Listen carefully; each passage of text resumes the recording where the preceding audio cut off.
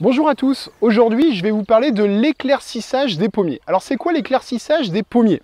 Il s'agit de supprimer des fruits.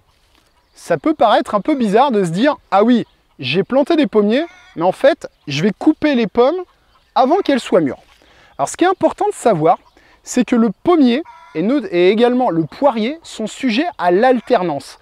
L'alternance, c'est le fait d'avoir une année beaucoup de fruits et l'année suivante très peu, voire quasiment pas. Alors pour éviter l'alternance et pour permettre de garder un arbre en pleine vigueur, on va supprimer des fruits. On n'oublie pas que quand on plante un pommier, c'est pour avoir des fruits tous les ans, des fruits beaux et des fruits pendant longtemps. Si on laisse trop de fruits, on va avoir des fruits moyens, voire des fruits petits. On va avoir un arbre qui va s'épuiser et qui n'assurera pas son développement futur. Et puis, cas classique, on aura beaucoup de fruits une année et quasiment pas l'année suivante. Alors, éclaircir, on le fait à quel moment? On va le faire fin mai, quand les fruits ont déjà la taille de environ 1 cm. On va faire ça en gardant en mémoire qu'on doit, pour bien nourrir une pomme, avoir 30-40 feuilles. Alors moi, ce que je fais, déjà, sur un bouquet, comme on a ici, là, je vais en garder une seule. J'en profite pour supprimer les fruits malades ou les fruits piqués. Hop, je fais ça au sécateur. Souvent, je garde la plus belle. Ici, on en a trois. Il y en a une qui est vraiment plus belle. Elle n'est pas piquée. Hop, eh ben, je supprime les autres. Là, j'en ai juste derrière. Bon, ben là, ça va faire beaucoup. L'arbre n'arrivera pas à nourrir tout ça.